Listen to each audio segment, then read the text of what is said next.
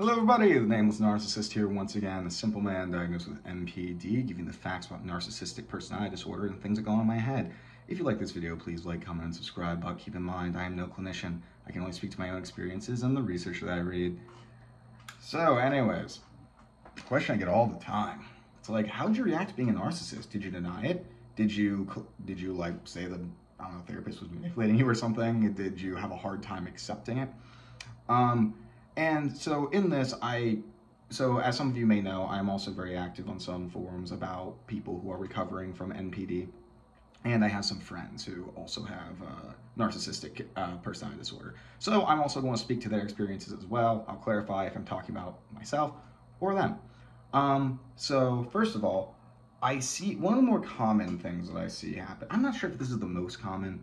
Like it seems like there's like three groups there's like the people who are in denial, people who fall into shame spirals, and the people who are like, ooh, I am special. Take a guess on which one I was. Um, but basically, so this first group I'm to be talking about are people who they find out they're a narcissist and immediately just spiral. Because here's the thing, you are basically, so a lot of people, and even people who are eventually diagnosed with NPD, don't have a very good idea of what disorder is actually like. I mean, how could you? Um, I mean, like most people probably wouldn't be thinking about narcissism 99% of the time unless they either were one or had some experience with somebody they suspected to be a narcissist. So it's like at first they're probably a little bit confused, don't really know what it means. And here's when the issue comes in and where the shame spiral starts is that they go and they want to know about why they are the way that they are, or what this means, stuff like that, seek to actually understand it. And then they go on the internet and they Google search narcissist. And let me tell you, people who are diagnosed as a narcissist typically don't like the things that the internet has to say about them, right? Um, and a lot of this stuff is, and some of it's valid, some of it's not. Um, but a lot of it is misinformation or is dehumanizing. A lot of times I would say that some of it is maybe accurately describes some of the behaviors that we can exhibit, but overwhelmingly gets the motivations wrong and it elicits a lot of like just like oh these are bad evil people sentiments and that's all the time. And you can deny that all you want. Um, you'll have to make a damn good argument for it though because i don't know even it, it's interesting when i look at some of these articles because like they will say things like oh yeah narcissists can't actually love.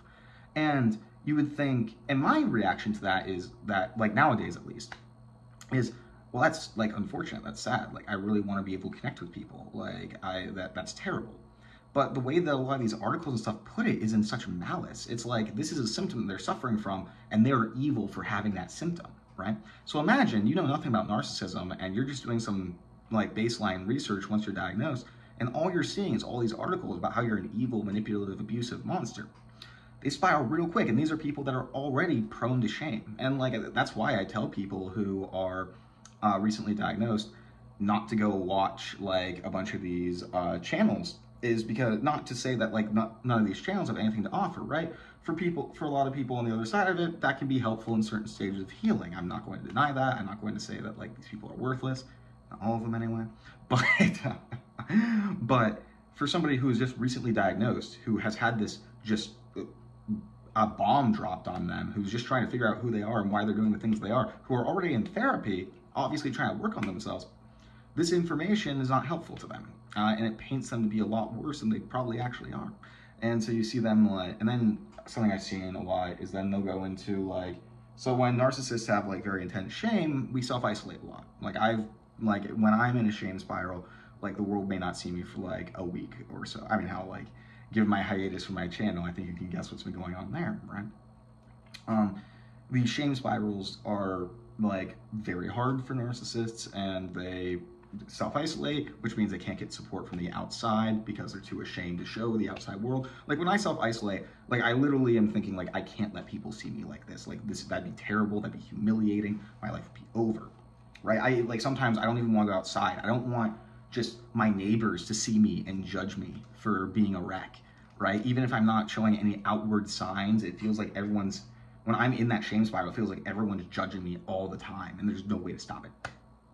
Um, so yeah, so then I see, so, and then like these people even go to the point of being like, I shouldn't date anybody ever again. I should isolate myself from the world so I don't hurt anybody, which some people may have opinions that are more more positive than mine on that, but this leads to them further spiraling, and in some cases, I've seen some very very horrific outcomes of people who are diagnosed with NPD um, engaging behaviors like that, which is a shame because these are the people that are like you know working on themselves, who are like trying to be good people, and so I always say like even narcissists deserve some degree of human interaction as long as they're like you know trying to heal.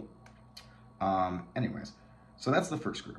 Very, very sad group. The second group, um, also the part of the group that I was not part of, what, well, I guess a little bit, not really, because like I, so second group is just there, just complete in denial. They'll probably go through a very brief shame spot. So actually, so I wasn't really part of this group, but like it was, the idea was proposed when I was very young. And like it kind of happened, and what happened was I was told I'd be a narcissist.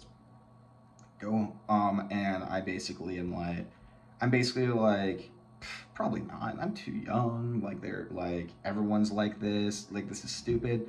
But like in the back of my mind, uh, it was always kind of there of like that's probably a thing, but I'm not sure. And then my denial was actually um, exasperated by some of the research I did online because a lot of it, again, I could not identify with. It's like, yeah, I'm manipulative, but then like the reasons that they put behind this manipulation, I couldn't identify with. It's like I wouldn't just manipulate someone for the sake of like hurting them or for the sake of manipulation. I don't enjoy just hurting people. Um, I don't date people purely for supply or whatever. Um, like I could not relate to it. And so actually this information about nar- information in quotes about narcissism actually contributed to my own denial. I was able to pull on the and like I could also use that with people in my life who like um, I suspected that I was a narcissist. Um, like there was one person I remember very vividly of me kind of being like, yeah, they say I'm a narcissist, but you know, probably not, probably not. And they did their own research and they were like, yeah, I did some research. Don't get me wrong, you have some narcissistic tendencies, but there's no way you're a full blown narcissist because that information online was crazy. Now, don't get me wrong, there's some people in my life who probably would say that I was a full blown narcissist based on that information. But, you know, this was a close friend of mine who I'd known for a long, long time.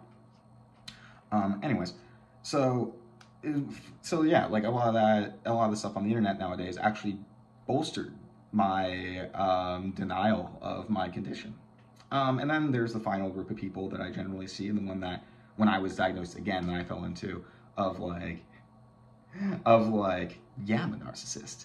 That makes me cool as fuck. I'm better than people. This is the final step in human evolution is narcissism, um, which was you know hilarious. Um, and I do find this to be uh, very common too.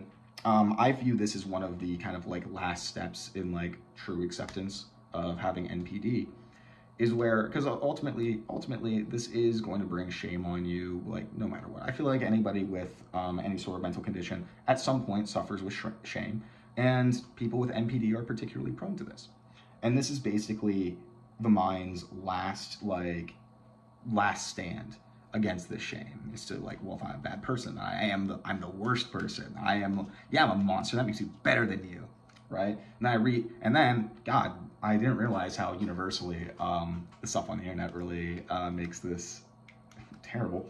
But um, like literally, I remember reading some of that stuff and be like, yeah, I am a master manipulator. Yeah, I can read people like a book. I don't care about anybody. All I need is myself. I'm better than everybody.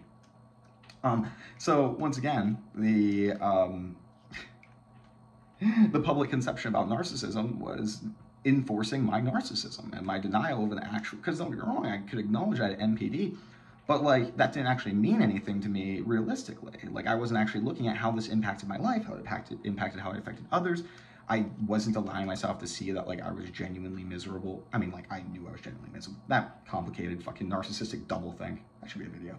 It'd be a good video. But yeah, like once again, it did um, encourage this, which is why it doesn't really surprise me that like a lot of people who I get a lot of DMs from people being like, "Oh, like watch your content and f- help me accept the, my diagnosis," and I was like, "Yeah, no shit."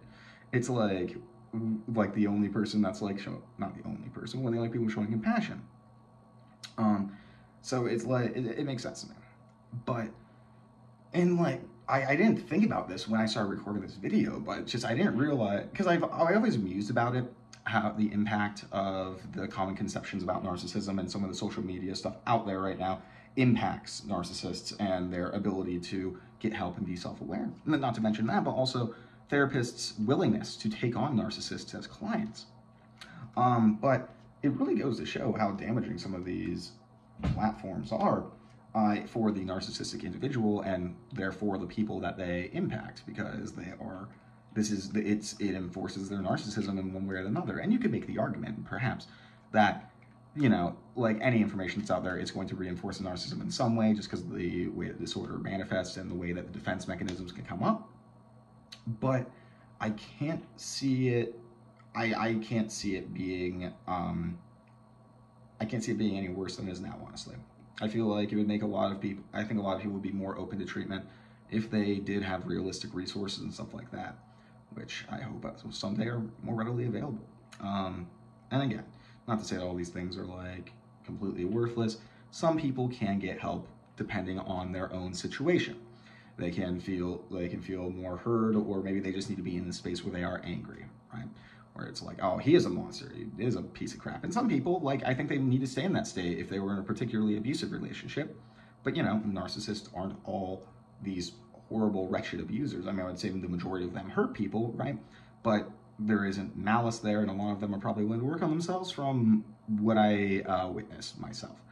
Um, even there's a lot of narcissists I've seen who, um, even when they aren't aware, they're trying to work on themselves, but it's just a very hard process when they don't actually know what's wrong with them, right? Yeah, so that was that. Those are basically the kind of ways that narcissists react uh, to finding out they're narcissists. Um, at least that I've observed. I've never. Those are like basically the only three reactions I've ever seen. I've never seen. I've never seen somebody like. I will. I'll be honest. I don't think I've ever seen somebody go get diagnosed with NPD and immediately be like, "Well, no, that's not true. I've seen a few." and like this is all anecdotal. I like there's no actual research on this. Like if people are like, oh, narcissists can't be self-aware, or they have overwhelming this reaction, there's no actual research on it. That's all clinical experience. So like it's very hard to say what the actual kind of rates of these reactions are, how many people who uh, can actually accept their narcissist, how many immediately go into treatment very receptive to it. Um, I've read some case vignettes that they were very receptive to it going in. Um, but those are case vignettes, right? It's not empirical. We don't actually know. But we also don't know that like this kind of myth that nurses can't be self-aware, that they will never accept the diagnosis. No, no, that's all wrong. It's just that's just the kind of bull crap that's just kind of spouted on the internet nowadays. Is what it is. Either way, hope y'all have a good day and uh take your fucking meds, please.